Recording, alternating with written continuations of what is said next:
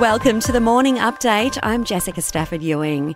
Investigations are continuing into a mid air chopper crash on the Gold Coast. Four people were killed and three were left critically injured when two helicopters collided near SeaWorld. It's believed one was attempting to land while the other was trying to take off. Janie Shearman from the Queensland Ambulance Service says there were 13 patients all up. The minor injuries were mainly glass shrapnel that had uh, come from the impact. The critical injuries, there was there was a number of injuries, uh, what we call multi-system trauma, which means that there was a lot of impact to the body. Overseas and Ukraine claims a strike on the Russian-held Donetsk province has left hundreds of recruits dead.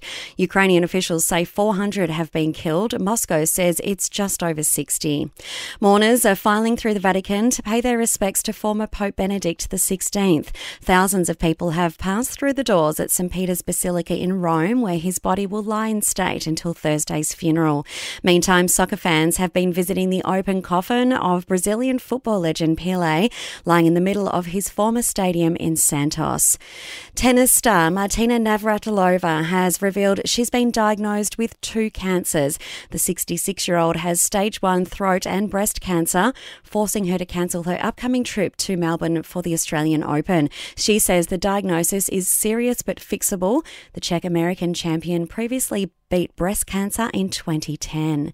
To sport now in the Big Bash League, the Hobart Hurricanes defeated the Adelaide Strikers by seven wickets, and today's match at the MCG sees the Melbourne Renegades take on the Melbourne Stars. And to the United Cup, Alex de Minaur has given Australia a 1 0 lead over Spain with his first home win over Rafael Nadal in Sydney. The Aussie says it was a dream come true. I couldn't be happier that managed to get my first win over Rafa on this court in front of you guys. I knew it was going to be a battle. Rafa's a hell of a competitor, and I'm just honoured, and you know, it's a dream come true. In entertainment news, Prince Harry has extended an olive branch to his family while promoting his upcoming memoir, Spare.